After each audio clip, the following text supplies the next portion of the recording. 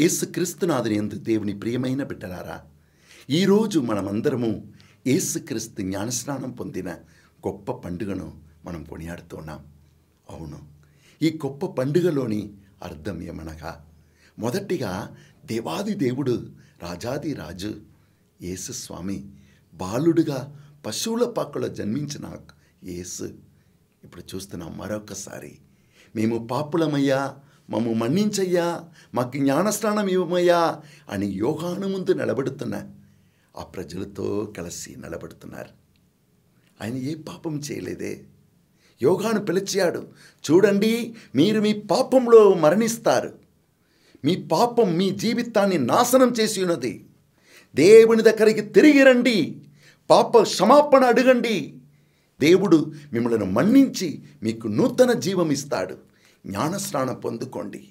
అంటే నీ పాపానికి మరణించి నూతన జీవము తల్లవండి నీటి నుండి లేపబడిన మనుషులాగా నీరు ఎలా నిన్ను శుద్ధి చేసి నిన్ను నీకు శుద్ధి ఇస్తుందో నీ దేహాన్ని పరిశుద్ధపరుస్తుందో అట్లనే మీ పాపానికి మరణించి దానికోసం పశ్చాత్తాపడి దాన్ని దేవునికి ఇవ్వండి. అప్పుడు దేవుడు మీ పాపాలని తీసివేసి ఎలా నీరు ఆ అశుద్ధమును తీసేసి ఫ్రెష్నెస్ ఇస్తుందో అట్లనే దేవుడు మీకు నూతన జీవం ఇస్తాడు. ఈ సత్యమును విశ్వసించి ఎంతోమంది నిలబడ్డారు. వారితో ఏసయా కూడా నిలబడ్డారు. మనం అడగవచ్చు ఏసయా పాపి కాదు కదా ఎందుకు నిలబడ్డారు? ఎవరెవరు? తన్ను తాను తగ్గించుకొని ఈ లోకము దాని వ్యామోహము నా జీవితాన్ని నాశనం చేసి ఉన్నది. కానీ నా పాపం నన్ను నశించిపోవుటకు దేవుడు అనుమతించలేదు.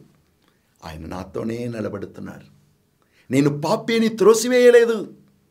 ఆయన నాతోనే వరుసలో నిలబడి కుమారా నువ్వు నీ పాపం కోసం పశ్చాత్తాపడి నిన్ను అర్పించు. తప్పకుండా దేవుడు నీకు నూతన జీవం ఇస్తాడు. నువ్వు ఆశీర్వాదంగా మారిపోతావు.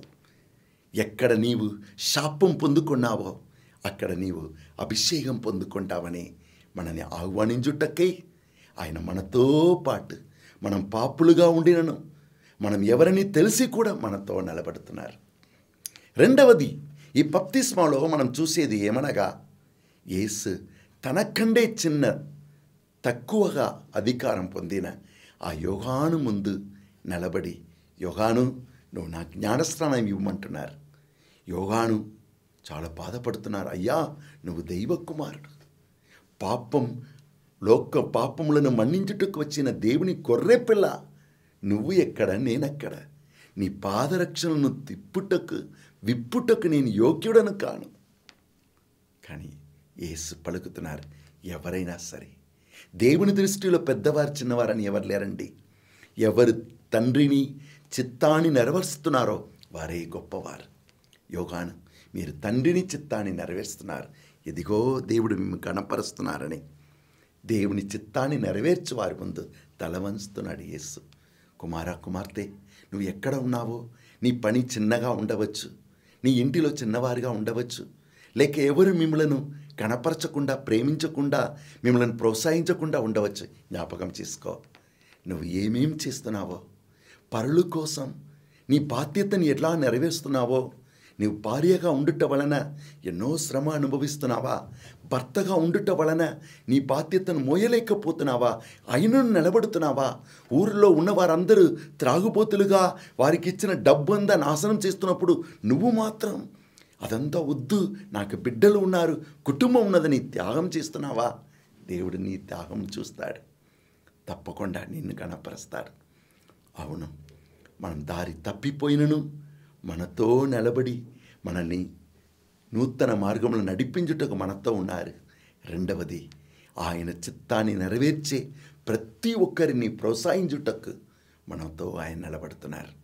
మూడవది చూస్తున్నాము జ్ఞానస్నానం పొందిన యేసు బయటకు వచ్చి ప్రార్థించాను. ప్రార్థన అనేది ఈ లోకంలో మనం ఏమి పొందుకున్నా పరలోకం లేక మనం బ్రతకలేము. కనుక ప్రార్థన అనేది మన మనస్సుని ప్రభువైపు లేపటం ప్రభు మీద ఆధారపడటం మనం ఏమి చేసినా ప్రభుని సలహాలు అడగటం ప్రభు మనతో రావాలని ఆయన ఆహ్వానించటం. ఏసు అలా ప్రార్థించినప్పుడు మూడు కార్యాలు జరిగినది. మొదటిగా పరలోకం తెరవబడింది. అవునండి చాలా కార్యాలు మనకు అర్థం కాదు. కానీ ఎప్పుడు మనం ప్రార్థిస్తున్నామో తండ్రి నేను నీ బిడ్డనాయనా నాకు ఈ విషయం ఏం చేయాలో అర్థం కాలేదు. నీవు నీ జ్ఞానం నాకు ఇవ్వమయ్యా. నీకు స్తోత్రనాయనా నువ్వు నా తండ్రి నాయనా అని మనల్ని అర్పిస్తున్నప్పుడు మన మనసు గ్రహించలేని సత్యాలను దేవుడు నేర్పిస్తాడు. ఎన్నోసార్లు దీన్ని నేను అనుభవించాను. కొన్నిసార్లు ఏం చేయాలో అర్థం కాదు. ప్రార్థనలో ఉన్నప్పుడు సడన్గా మూడ మైండ్లో ఒక మూడలో ఒక థాట్ వస్తుంది. ఇట్లా చేయి అట్లా చేయి. అవును. యశాగ్రంథం ముప్పై అధ్యాయం అట్లా చెప్తుంది. నువ్వు ప్రార్థనలో ఉన్నప్పుడు నీ వెనుక నుండి నీ దేవుని స్వరం వినిపించను. రెండవది పరలోకం తెరవపడినది మాత్రం కాదు. నీవు ఎవరు ప్రభునకు?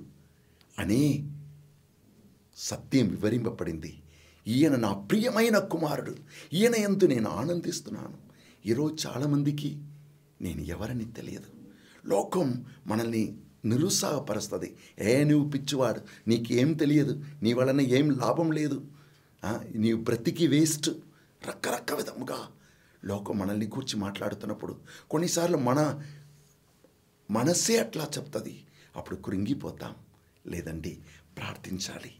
ఏసులాగా ప్రార్థిస్తున్నప్పుడే మనం ఎవరమని పరలోకం మనకు తెలియచేస్తుంది.